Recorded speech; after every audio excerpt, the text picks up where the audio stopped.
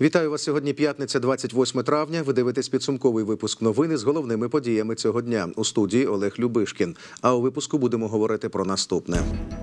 14-річний підліток випав із вікна багатоповерхівки після сварки з батьками. У Житомирі відкрили слідчий та оперативний відділи територіального управління ДБР. На базі Житомирської обласної бібліотеки для дітей незабаром відкриється новий молодіжний простір. Про це та інше далі більш детально. 14-річний підліток випав із вікна багатоповерхового будинку після сварки із батьками. Про це повідомляють на сайті ГУНП в Житомирській області. У тяжкому стані хлопця госпіталізували до лікарні. На місці події працювала слідчо-оперативна група поліції, працівники якої з'ясували попередні обставини.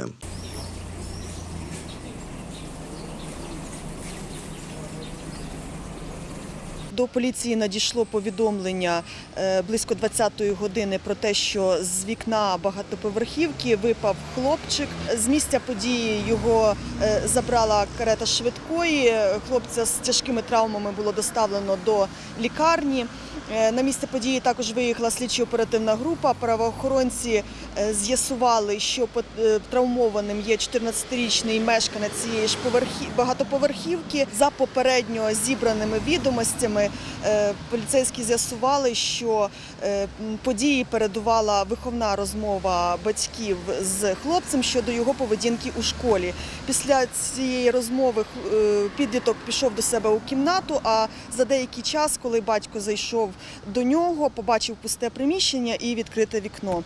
Е, На даний час у рамках кримінального провадження поліцейські продовжують встановлювати всі об'єктивні обставини, опитують, спілкуються і як з батьками, так і з е, однокласниками хлопця, щоб встановити, що стало причиною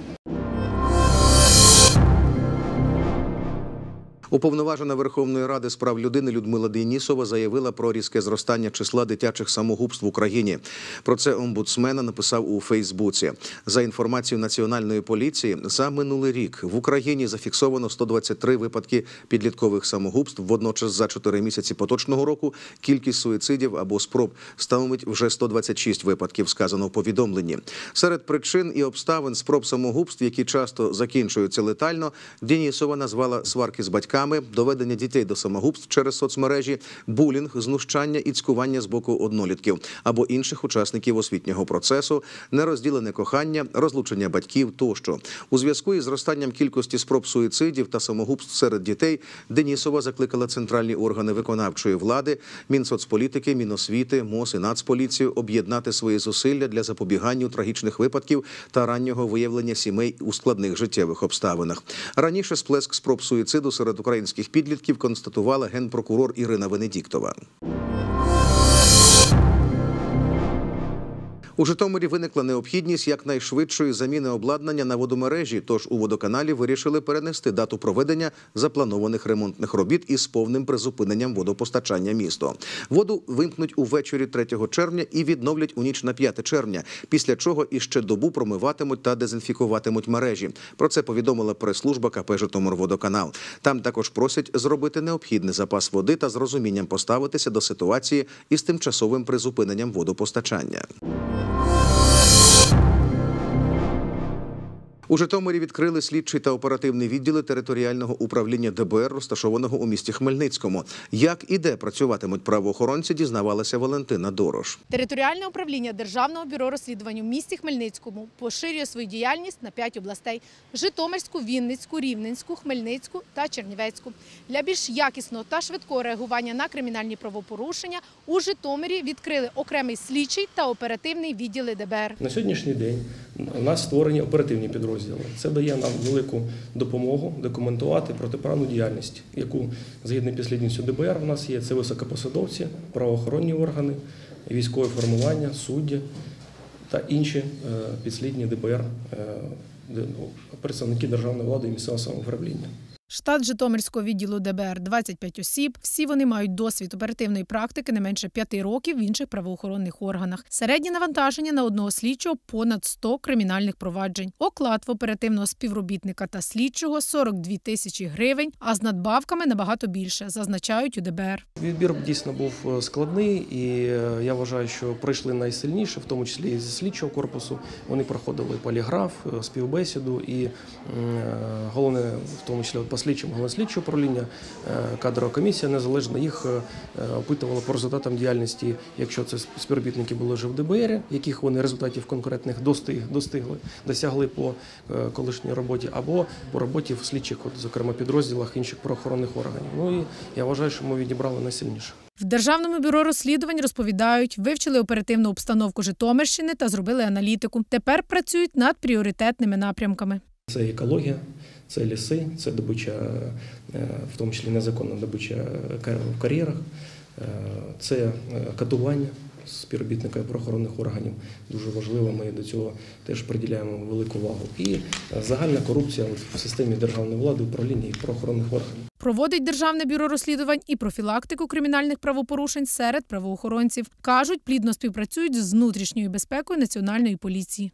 Якщо періодично е, у нас є якісь затримання, чи спільна з внутрішньої безпеки Нацпола, чи без них, спільна служба безпеки, е, чи за нашими вже матеріалами, ми цю реалізацію розкладаємо на запчастини, передаємо внутрішній безпеці, і вже представники внутрішньої безпеки через е, свої, скажімо так, професійні збори, наради, профілактики, навчання роблять е, попередження для всіх інших осіб, щоб не було повторення цієї протиправної діяльності.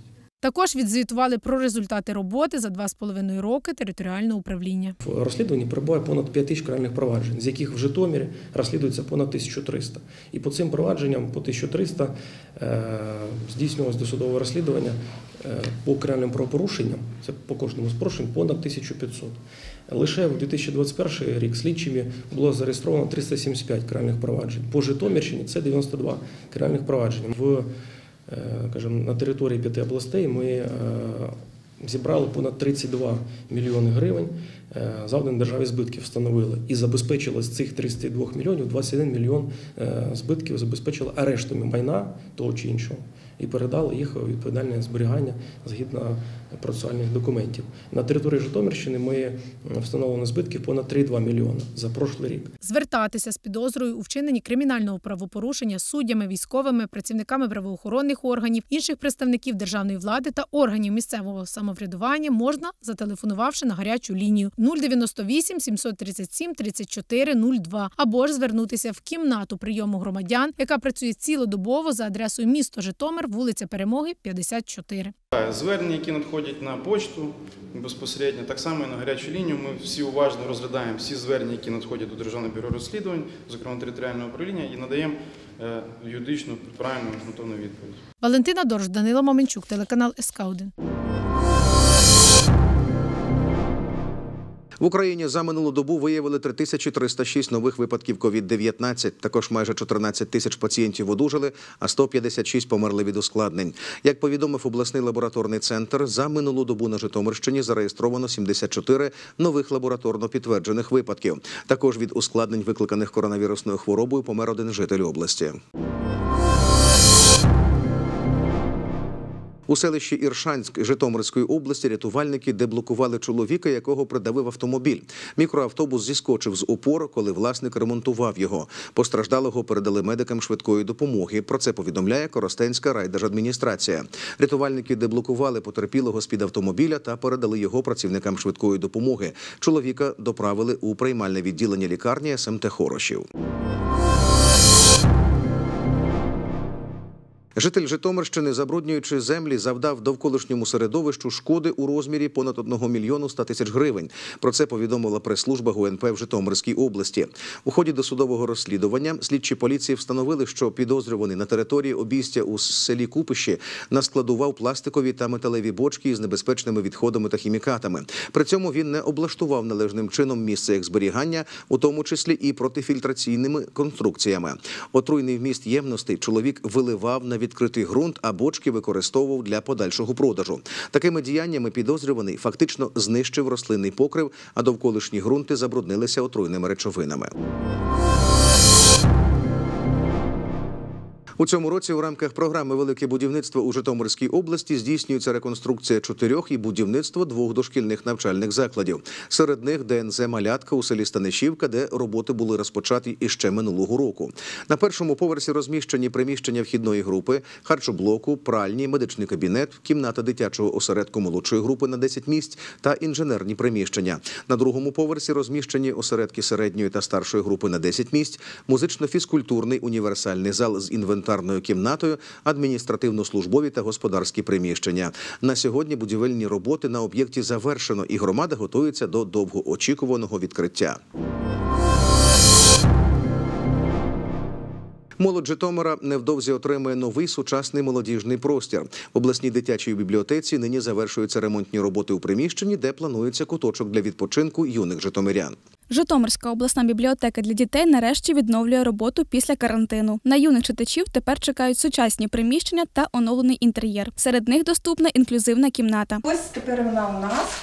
Ми тут влаштуємо, тут ще не все зроблено, дещо ще буде тут. Є ігри спеціальні для е, дітками з інвалідністю. Сади гранти, щоб е, тифлоприлади е, яким чином отримати. Щоб Це було насправді не не крутий, інструмент для багатьох дітей. Так, дітей так, це для розвитку. Серед відвідувачів чимало підлітків. Їхні потреби наштовхнули керівництво бібліотеки на облаштування молодіжного простору, де цікаво і зручно буде кожному. Ця ідея е, вже давно у нас е, була, тому що підлітки це велика частина наших користувачів. Ми б хотіли, щоб цей новий простір став безпечним місцем для підлітків, для молодих людей, і щоб вони почували себе тут. Впевнено, щоб це було місце для неформального навчання, для дозвілля. А ось це і є приміщення майбутнього молодіжного простору. Саме тут незабаром відкриється кінотеатр та літературний клуб. Ми хочемо створити консультативну раду підлітків для того, щоб зрозуміти, що їх цікавить, що їх привабило в цьому місці, і що б вони хотіли. е, Проводити можливо акції, заходи і обов'язково залучати до проведення цих заходів саме е, молодих людей. Ідею створення простору підтримали і в міністерстві молоді та спорту. На їхню думку, це є чудовим прикладом молодіжної політики, яку проводить держава. Чудово, що нас постійно відбувається взаємозв'язок і обмін інформацією, думками безпосередньо бібліотекарів, безпосередньо керівництва бібліотеки, безпосередньо керівництва департаменту культури, молоді та спорту Житомирської обласної державної адміністрації і молодих людей, тому що ця синергія власне дає найкращі рішення. Чудово, коли в таких великих закладах теж є простір для розвитку молодих людей, тобто молодіжний простір. Власне, одним із напрямів з статусу м, м, м, закону про молодь є розвиток молодіжних просторів по Україні саме на базі бібліотек, саме на базі закладів освіти. І так далі. І ми бачимо гарний приклад старту цієї роботи. Це чудово. Катерина Волкова, Юлія Заткевич, телеканал СК 1 За результатами минулого року у рейтингу Мінрегіону Житомирська область займає 11 місце серед 25 регіонів України, тоді як за підсумками 2019 року вона була на 16-му. Рейтингова оцінка регіонів оприлюднена на сайті Міністерства розвитку громад та територій. За економічною та соціальною згуртованістю Житомирська область посідає 21 місце. У 2019 році було 20-те. За економічною ефективністю 16-те. За інвестиційно-інноваційним розвитком та зовнішньоекономічною співпрацею 14 місце. За фінансовою самодостатністю 20-те, за розвитком малого та середнього підприємництва 16-те, за ефективністю ринку праці 5 місце, за розвитком інфраструктури 21 місце, за відновлювальною енергетикою та енергоефективністю 2 місце, за доступністю та якістю послуг у сфері освіти 10, за доступністю та якістю послуг у сфері охорони здоров'я 17 місце, соцзахист і безпека 9, раціональне природокористування. Кабмін вирішив заборонити використовувати повітряний простір України суднами, зареєстрованими у Білорусі. Про це передає Інтерфакс Україна, посилаючись на джерело в уряді. Заборона має почати діяти вже від завтра. Зазначено, що кабінет міністрів вже дав доручення Міністерству інфраструктури, Міністерству закордонних справ та Украероруху проінформувати про таке рішення Білорусь.